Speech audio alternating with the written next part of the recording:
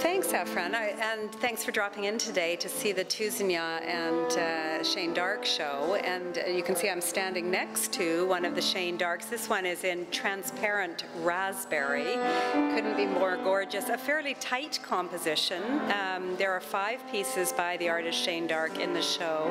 Some tight, some looser, um, all in these amazing candy colors. And of course, Shayne Dark is a Kingston, Ontario artist who um, we are launching today in British Columbia. He has had many solo shows at the Glenbow Museum in Calgary. He is currently at the Masur Gallery in Louisiana.